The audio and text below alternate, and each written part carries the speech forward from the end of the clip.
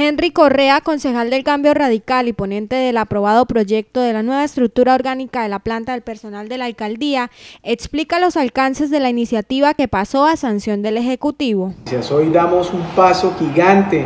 en esta aprobación eh, de esta nueva estructura orgánica de la Administración Central del Distrito de Barranca Bermeja, con el propósito de modernizarnos a las nuevas necesidades del Distrito Especial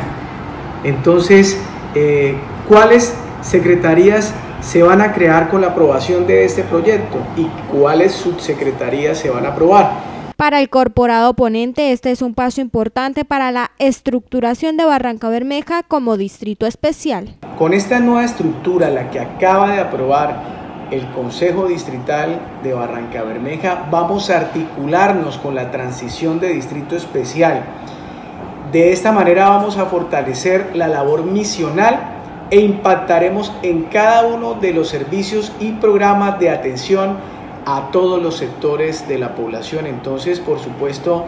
que estamos muy contentos con esta iniciativa del señor alcalde distrital Alfonso Gas Manrique y por supuesto con esta aprobación de los honorables concejales. Indicó Correa que no debe haber preocupación en la planta del personal actual ni de funcionarios de carrera administrativa como tampoco en los de provisionalidad.